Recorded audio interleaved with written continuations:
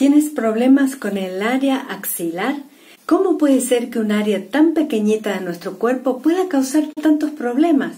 Granos, eczemas, irritaciones, hongos, verruguitas, manchas. Todo esto puede salir en ese trocito tan delicado de nuestra piel que son las axilas.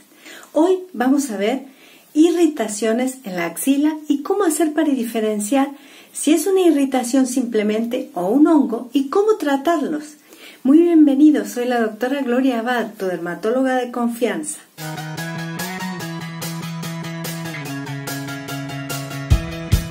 Las axilas son un área de nuestro cuerpo que tiene la piel muy sensible, primeramente porque pertenece a uno de los pliegues del cuerpo.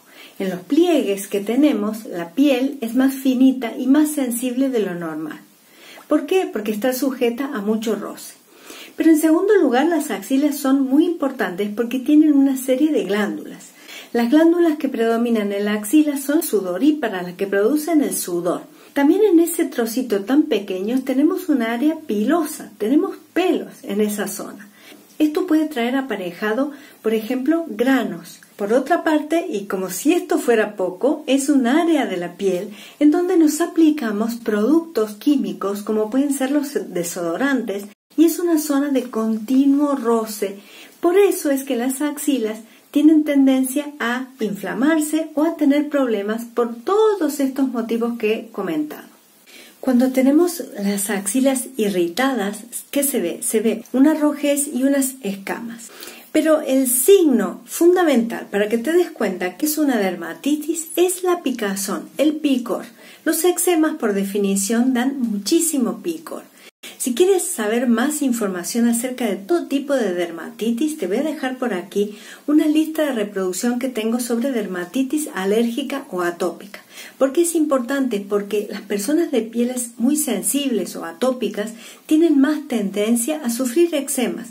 Las causas de la inflamación, ¿cuáles pueden ser? Pueden ser, por ejemplo, una prenda determinada de ropa por la composición de la prenda o por el color de la prenda. Muchas prendas de vestir tienen un tinte o una tonalidad que muchas personas le tienen alergia.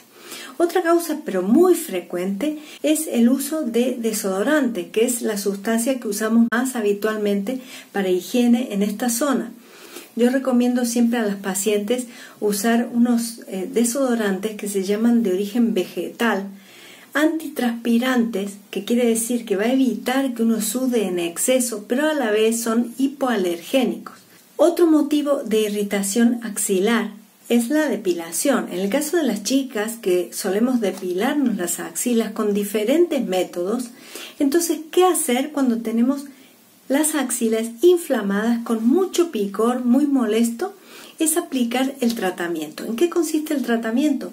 En una crema de corticoides. No le has de tener miedo a los corticoides. Los corticoides son un antiinflamatorio local que te va a ayudar a bajar esa inflamación y sobre todo es importante detectar la causa posible. La crema de corticoides más frecuente es la hidrocortisona. También existen otros corticoides de mediana potencia, pero yo te aconsejo que si tú lo vas a hacer en casa, una sola vez al día, preferentemente por la noche, evitar el uso de desodorante por unos días y lo vas a poner como mínimo una semana.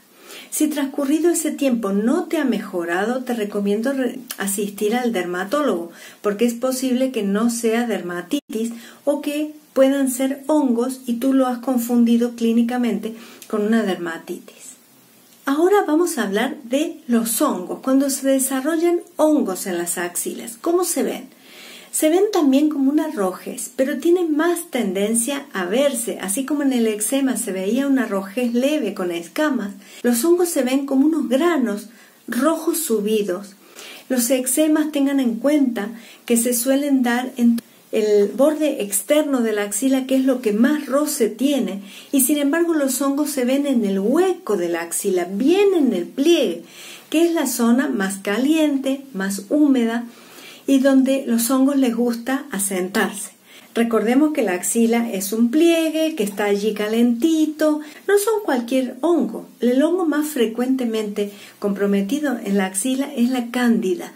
Es un hongo que está en la flora de nuestra piel y que por muchos motivos, por bajada de defensas, por alteración metabólica de la persona, diabetes, obesidad, exceso de calor, de sudor, aprovecha y prolifera. Se reproduce la cándida. Y ahí tenemos entonces el hongo. Es el más frecuente.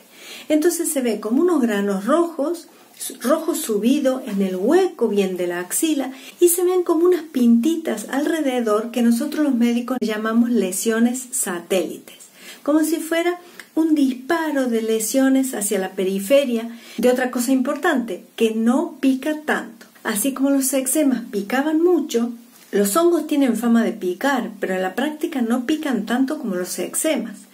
Entonces producen como un escosor, como un ardor. En este caso, ¿qué hay que hacer? Lo primero a hacer es aplicar una crema antimicótica. ¿Te está pareciendo útil? No te tienes que perder los próximos vídeos en donde hablaré de más problemas que suelen pasar en la axila. Y para no perdértelos, aparte de suscribirte a mi canal y darme un like, le tienes que dar a la campanita para que YouTube te avise cuando publico un nuevo vídeo. Una crema anti-hongos. La más conocida es la crema de clotrimazol al 1%. Yo hablo de principios activos. Tú luego busca en tu farmacia de confianza una crema similar con ese principio activo. Hay muchas cremas antihongos, pero esa es la más común y que puede atacar a las cándidas. Se ha de aplicar dos veces al día, por lo menos, durante 10 a 15 días. Se aplica bastantes días. Y unas medidas generales importantes para prevenir, para que no te vuelva a pasar, dado que el hongo ya lo tienes en la flora de la piel, que te pongas polvos de talco, sustancias que te sequen la zona para que no se te acumule el sudor y el calor en esa zona. Eso es muy importante tener ropas holgadas, frescas, usar ropas que sean transpirables, no muy ceñidas, no pasar calor usar inclusive algunos desodorantes antitranspirantes o que controlen el sudor excesivo.